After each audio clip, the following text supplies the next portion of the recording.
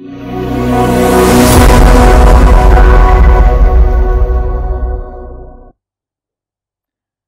Assalamu alaikum. Welcome to my lectures. I'm your Pakistan Studies lecturer Midhat Abbas. We are almost ending chapter 9 which is Population, Society and Culture of Pakistan. पिछले lecture में हमने discuss की थी सिंधी और Punjabi language आज हम continue करेंगे by ending Sindhi language और discussing Pashto and Balochi language let's start so where did we leave? Yes, excellent. We were discussing the development of Sindhi literature and Sindhi language. और हमने ये देखा था कि सिंधी लैंग्वेज की अर्ली एज ऑफ डेवलपमेंट शुरू हुई थी 1050 एडी से 1350 एडी तक and then there was the golden age जब Shah Abdul Latif Bhitai and Sachal Sarmast these kind of poets and Sufi saints used Sindhi language to experience, to portray, to convey, to communicate their language, their perspective, जब जिसके through जब उन्होंने Sindhi language को use करके उसके through अपनी जो perspective है, जो अपना नज़रिया है, वो लोगों तक पहुँचाया और सिंधी लैंग्वेज की डेवलपमेंट और लिटरेचर की तरफ़ भी उन्होंने काम किया। मूविंग ऑन सिंधी लैंग्वेज में सिर्फ़ पोएट्स का ही हाथ नहीं है। There are teachers scholars and preachers they contributed to wealth of Sindhi literature as well इस सिंधी लिटरेचर में और इसके फरोग में टीचर्स प्रीचर्स और स्कॉलर्स का भी बहुत बड़ा हाथ है, जिसमें इंपॉर्टेंट है Abul Hasan Sindhi. He was the person जिन्होंने Arabic language Arabic script Arabic letters use किए सिंधी लिखने के लिए और उसके बाद new letters for Sindhi language जो है वो बनाए। So he use Arabic script to write Sindhi to create a new script उन्होंने नए हरूफ बनाए जिसमें, हरूफ बनाए जिसमें सिंधी लिखी जा सके। देन मखदूम मोहम्मद हाशिम, ये एक और बहुत फ़ेमस नाम है। He was a religious scholar he wrote 150 books 150 books लिखी इन्होंने फारसी और सिंधी में इन पर्शियन एंड सिंधी और इनकी, इन किताबों की खूबसूरती ये है कि अभी तक इनमें से बहुत सारी किताबें मदरसाज में, बहुत सारे मदरसों में यूज़ होती हैं एज कोर्स बुक और इजिप्ट में जामियाल अजहर में भी एज कोर्स बुक ये बुक्स यूज़ की जाती हैं. So yes his contribution is limitless और बहुत वर्दी है, क्योंकि आज भी सिंधी लिटरेचर का और लैंग्वेज का जो हिस्सा पढ़ा जा रहा है, उसमें इनका हाथ है because he wrote those books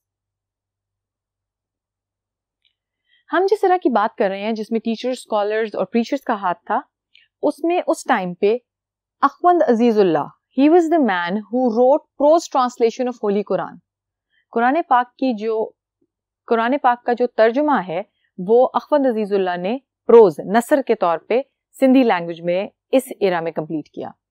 then during British rule फिर आया ब्रिटिश रूल ब्रिटिश रूल में Mirza Kalich Beg he was a very worthy and famous name क्योंकि इनका सिंधी लिटरेचर और लैंग्वेज में जो कॉन्ट्रीब्यूशन है वो बहुत ज़्यादा है। इन्होंने लिखी 400 books on poetry and other topics इन्होंने 400 किताबें लिखी सिंधी लैंग्वेज में सिंधी जबान में, जिसमें शायरी और बहुत अदर बहुत सारे और भी टॉपिक्स थे जो उन्होंने डिस्कस किए। यही वो एरा था ब्रिटिश रूल का, जब सिंधी जर्नलिज्म भी फ्लरिश किया। फ्लरिश करने का मतलब है, वो फरोग पाया, उसमें फैलावा आया, लोगों ने सिंधी लैंग्वेज में कॉलम लिखने शुरू किए न्यूज़पेपर्स में लिखना शुरू किया। 1970 अगर हम अब इस तरह की बात करें तो 1970 में मौलवी मल्लाह ही वॉज़ द मैन जिन्होंने कुरान पाक की ट्रांसलेशन वर्स में, शायरी में लिखी, अशार में लिखी। So wrote translation of holy Quran in verse अगर हम डिफरेंट फॉर्म्स की बात करें सिंधी लैंग्वेज की, जिसके थ्रू जो है Sindhi language it reaches out to people वो है बेत, वाई, काफ़ी एंड मलूद। ट्वेंटी सेंचुरी में भी सिंधी लैंग्वेज में बहुत सारी इंप्रूवमेंट आई। Criticism narrative writing story telling ये वो एरियाज़ हैं रिसर्च जिनमें ट्वेंटी सेंचुरी में आके सिंधी लैंग्वेज पे काम हुआ और इसकी फर्दर डेवलपमेंट हुई। Sindhi is one of those oldest languages जिनकी रूट्स जो हैं goes beyond the Islam reach in the subcontinent कि इस्लाम के सब कॉन्टिनेंट में बड़े सकीर में आने से पहले भी सिंधी लैंग्वेज जो है, सिंधी जबान, वो इस एरिया में, जिसको अब हम पाकिस्तान और इंडिया या बड़े सगीर के नाम से जानते हैं, उसमें बोली जाती थी। Moving on the third language regional language is Pashto as the name suggest ये वो लैंग्वेज है which is the language of KP के खैबर पख्तूनख्वा में बोली जाती है। इसका ओरिजिन इसकी जो शुरुआत है, वो है बख्त से।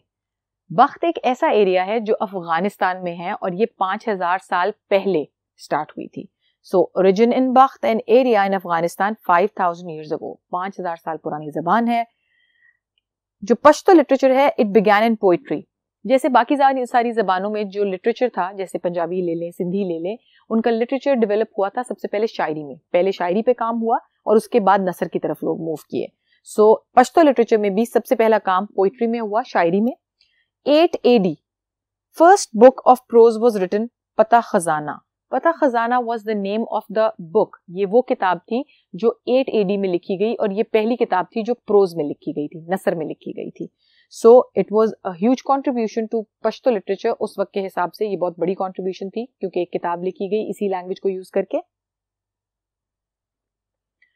आगे बात करते हैं कि फिर आई चौदहवीं सदी. So fourteen century AD Pashto like other languages इसने एक्सटर्नल इन्फ्लुएंसेस अब्जॉर्ब किए। एक्सटर्नल इन्फ्लुएंसेस का मतलब ये है कि जब ये फैली, इसमें फैलाव आया तो लोगों ने अपने मुआरे के हिसाब से, अपनी जोग्राफिकल रीजन के लिहाज से हिस्ट्री के लिहाज से इसमें एडिशन होना शुरू हो गए। जब ये एडिशन हुए तो Arabic and Persian words were added अरबी और फारसी जबानों के जो अल्फाज थे, वो इस लैंग्वेज का हिस्सा बन गए।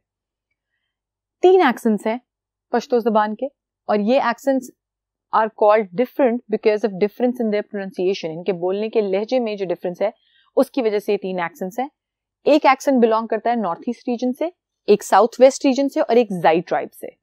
ये तीन एक्सेंट हैं ऑफ़ द पश्तो लैंग्वेज अगर पश्तो लैंग्वेज की बात करें so we move to the literature और इस लिटरेचर में जो कंट्रीब्यूशन है अमीर करोर का, ये वो शायर थे जिन्होंने नज्म पश्तो लैंग्वेज में लिखना शुरू की। सो पोएट इन नज्म पोएट ऑफ़ नज्म इन पश्तो लैंग्वेज कसीदा इन मध ये वो दो टाइप्स थी ये दो फॉर्म्स थी पश्तो लिटरेचर की जो अपनी शेप में आई and they were made the part of Pashto literature in the time of Sher Shah Suri Sher Shah Suri के वक्त में पश्तो लिटरेचर में कसीदा और मध ये दो फॉर्म्स हैं ये ऐड की गई तस्करातुल औलिया तस्करातुल औलिया एक किताब है जो कि इसी रीजन से बिलोंग करती है और इसी टाइम से 1200 पेजेस की ये किताब है और ये ये बात साबित करती है कि हमदो नात पे भी पश्तो लैंग्वेज में काम हुआ है। That's why this book is present from that era Saifullah Saifullah was the man जिसने महमूद गजनबी के दौर में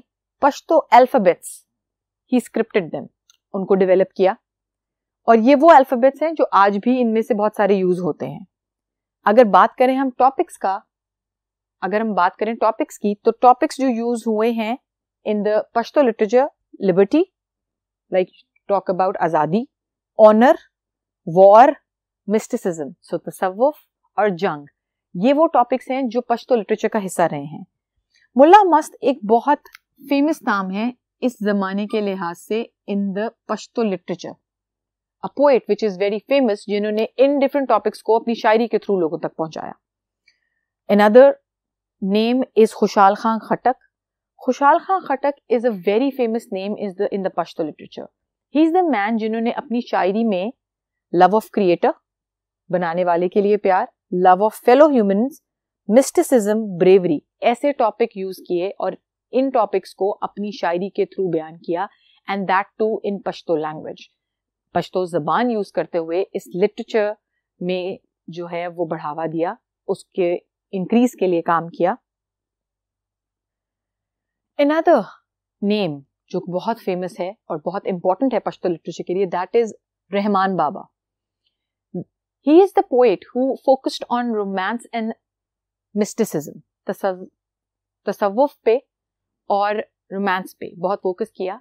इनका मानना था कि ये कायनात रोमांस की वजह से बनी थी। That is what he believed these both poets are milestones in Pashto literature Khushal Khan, Khattak इन रहमान बाबा, ये दो ऐसे नाम हैं पश्तो लिटरेचर के जो माइलस्टोन्स की हैसियत रखते हैं। और आज के दौर के भी पोइट्स शायर जो पश्तो लैंग्वेज के हैं, या पश्तो लिटरेचर में जो कंट्रीब्यूशन करते हैं, उनकी राइटिंग्स इनसे इफ़ेक्ट होती हैं या इनसे असरअंदाज होती हैं। Folk songs are an asset folk songs Punjab Pashto literature का एक बहुत इंपॉर्टेंट हिस्सा है। चारबीता तप्पा लिमकाई ये वो फॉर्म्स हैं जो बहुत इंटेग्रल हैं to the Pashto literature Pashto prose developed after twenty century Pashto की जो नसर है, वो बीसवीं सदी के बाद डेवलप हुई और ये डेवलपमेंट इस तरह हुई कि पश्तो डिक्शनरी पे काम हुआ ग्रामर राइटिंग पे काम हुआ बायोग्राफी पे काम हुआ और शॉर्ट स्टोरी पे, कहानी नवीसी पे काम हुआ. So this is how the Pashto language evolve over the time period moving on the fourth language is Balochi. Balochi का लिंक है आर्यन लैंग्वेजेस से। उन जबानों से जो आर्यन, ये जो ट्राइब है या ये जो डायनेस्टी है, इसके टाइम से चलती आ रही है। ऑनेस्टली बलोची में जो डेवलपमेंट हुई है that development took place after creation of Pakistan the letters were there the Balochi language was there लेकिन ज़्यादा डेवलपमेंट पाकिस्तान बनने के बाद हुई इस लैंग्वेज में। बलोची लैंग्वेज के दो एक्सेंट्स हैं सुलेमानी और Makrani again they are also affected by the region जिस रीजन में बोली जाती है, उनसे अफेक्ट होते हैं ये एक्सेंट बलोची पोइट्री शायरी जो है, उसके तीन हिस्से हैं। एपिक पोइट्री ये वो पोइट्री है which talks about the major honour war heritage इस तरह के टॉपिक्स में। Romantic poetry obviously as the name suggest जैसा नाम कहता है रोमांस ब्यूटी यूथ ये इस पे बात करती है। And folk stories folk stories लोड़ी, मोटक, ये वो फॉर्म्स हैं जो बलोची लैंग्वेज को, उसकी रिचनेस देती हैं। हैव यू नोटिस कि हम जितनी रीजनल लैंग्वेजेस डिस्कस कर रहे हैं, उसमें folk stories are an integral part you know why because language is a part of culture हमारी सकाफत का बहुत इंपॉर्टेंट हिस्सा है। तो जो स्टोरीज जो लोक कहानियाँ, लोगों की जबानों से by word of mouth travel करके डाउन द जनरेशन आती हैं, उनका इम्पैक्ट ऑब्वियसली आपकी सकाफत पे, आपके, आपकी सोसाइटी पे बहुत ज़्यादा होता है। So that's why these are an integral part of the language 1840 में introduction of Balochi poetry started 1840 में पहली दफ़ा बलोची शायरी इंट्रोड्यूस की गई थी। उसके बाद थोड़ा बहुत जो काम हुआ हुआ, लेकिन जो लैंग्वेज डेवलप की वो पाकिस्तान के खत्े में या इस हिस्से में ये हुई थी after creation of Pakistan as I told you earlier Mir Chakar Khan, Hasan जंदू, पीर नाग वागरा, नसदास शाह, ये ऐसे फ़ेमस नाम हैं जिनकी contribution to Balochi literature is very strong ये वो शायर हैं, ये वो मुसनफ़ हैं जिनकी वजह से बलोची लिटरेचर की आज वो शेप है जिसमें हम उसको पढ़ते या देखते हैं। पहली बुक जो लिखी गई थी बलोची लैंग्वेज में दैट वॉज़ शेर कमसीर मारी अब अगर हम ट्वेंटी सेंचुरी में बात करें बलोची लैंग्वेज की तो यस बलोची लैंग्वेज के जो अल्फ़ाबेट्स हैं there were there the shayari was there लेकिन मेजर डेवलपमेंट जो है वो शुरू हुई आफ्टर इंडिपेंडेंस बलोची जर्नलिज्म फरोग में आया। 1940 में बलोची मैगजीन जो है, वो छपा। उसके बाद उसकी बहुत बड़ी कंट्रीब्यूशन थी टुवर्ड्स बलोची लैंग्वेज अब जो यूनिवर्सिटी है बलोचिस्तान में, वो बलोची लैंग्वेज में पीएचडी भी ऑफ़र करती है। So yes this is a regional language जिसने अपनी शेम या अपनी शेप या अपनी फॉर्म डिवेलप की, या लिटरेचर इसका डेवलप हुआ after the creation of Pakistan and the work is still going on the rest of the few regional languages we'll discuss in the next lecture. Tab tak ke liye Allah Hafiz.